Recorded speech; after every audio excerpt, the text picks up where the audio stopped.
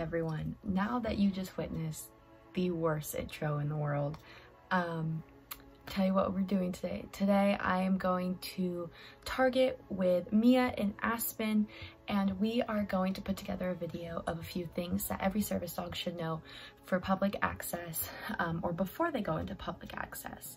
So I think that's going to be a really fun educational video. Also, I would like to show you guys a couple of things that I always keep in my bag when going out on errands and stuff like that uh, with Sirius. Uh, first of all, um, obviously just a regular vest. Today we're using our P&L. Next is a treat pouch. Um, I always have it full. He's still a puppy, so he gets lots of reinforcement still, um, and just in case we run into any obstacles. Next, we have doggy wipes. Um, I always keep these just in case like his paws get muddy or God forbid an accident happens. I have something to clean it up with. Next, I have my CSJ Creations leash and my P&L leash wraps. I also like to keep a little bowl in my bag. This one is just from like Burlington or something. Um, in my bag just in case he needs a drink of water or for out longer than I expect. Next, um, a little poop bag thingy uh, made from uh, Creative Saints on Instagram um, just to carry some poop bags. It's just like this cute little hangs off my bag. And lastly, my e-collar technologies. Um, I don't touch his leash a lot, but um, he does know that when his e-collar is on, it's time to work. So yes. So now that I've shown you what's normally in my bag for when we go out, next time you see us, we will be walking into the store or in the parking lot and how a service dog should act on leash when getting out of the car and into the store. So see you then. Cool.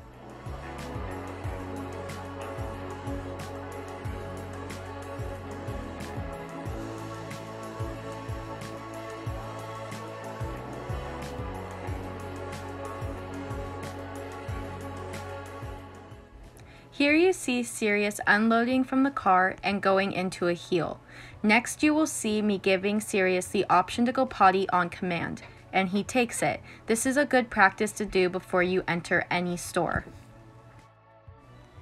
Here you see Aspen and Mia taking their time walking into the store in an orderly heel.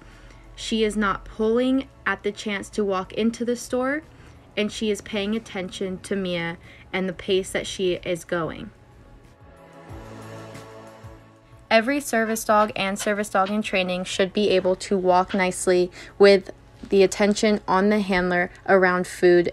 Here you see Sirius giving me his attention instead of giving his attention to the meat surrounding him.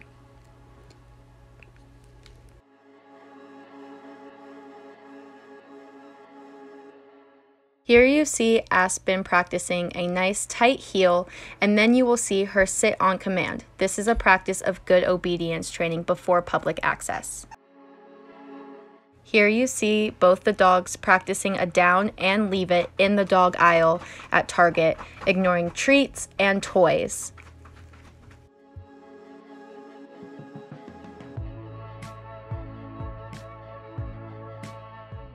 Here, both Sirius and Aspen are demonstrating a come command into a heel.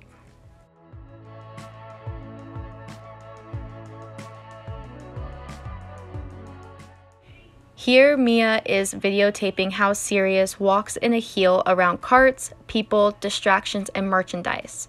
Service dogs and service dogs in training should never stop to sniff merchandise or pick things up off of the ground. Here is a great example of Sirius walking at my pace and watching for when I stop. Here, a person had to move their cart, and Sirius looked to me to see when to move. He keeps walking in a tight heel. You will see him think about sniffing this person and then look away. These dogs are still very much in training and young, so they do make mistakes sometimes.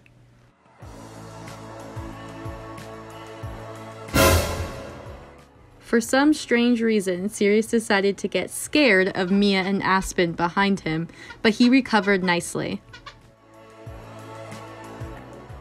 Here is Aspen demonstrating how she walks past merchandise without stopping to sniff and looking to Mia for more guidance. Service dogs and service dogs in training should be able to ignore other working dogs and anything else they encounter. Here, I'm moving Sirius around a lot to try to distract Aspen. As you can see, she's not going to break her sit, and Sirius is going to continue to do as I ask.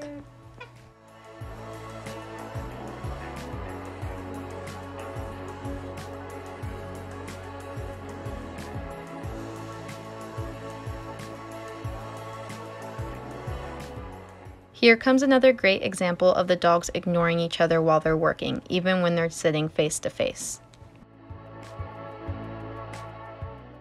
As said before, service dogs should be able to ignore all distractions like people and weird sounds like this turning majigger in the toy section. No PA trip would be complete without a medical episode of some sort. So here's Sirius tasking in the bedding aisle I dropped some treats on the floor by accident, and Aspen did a really great job of leaving it, and so did Sirius. Before having public access rights, service dogs in training must have great obedience, be potty trained, have their rabies shot, and most importantly, be actively learning a task or have a task underneath their belt. In this clip, you see Sirius practicing his crowd control command as well as a block command. This clip is another great example of walking next to food and ignoring it.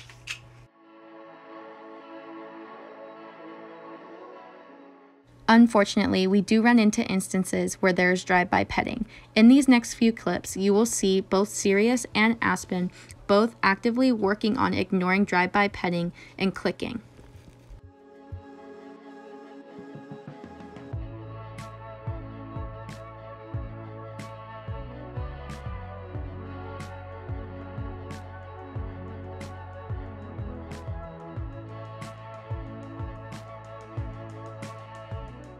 Unfortunately, in very crowded places, people tend to reach for any part of the dog they can, and that includes their tail.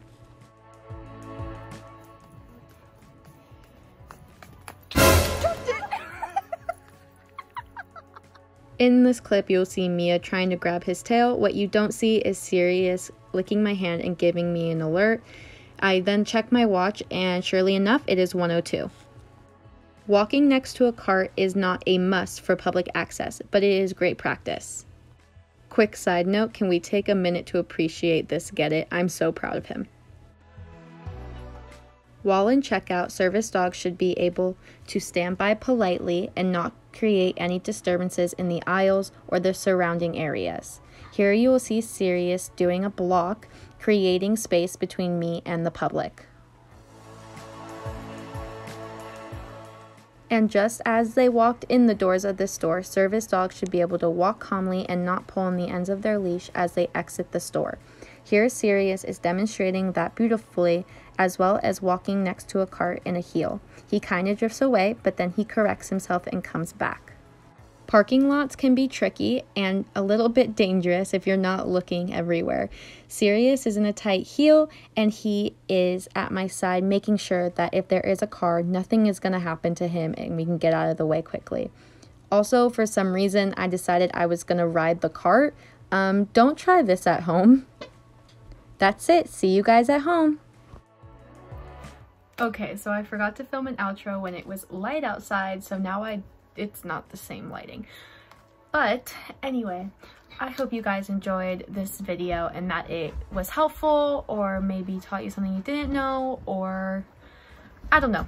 I thought it would be a great refresher and for both Sirius and I and if anybody in the community needs um, a little reminder of what a public access trip should look like and how a service dog should act. In the meantime, I hope you guys enjoyed this video and let me know what you guys want to see next. I have a few things I'd like to do, but we'll see. Give this video a like, comment down below if that's what the YouTubers say, subscribe, um, and I hope everybody has a great um, rest of your day or night or week or whatever you need.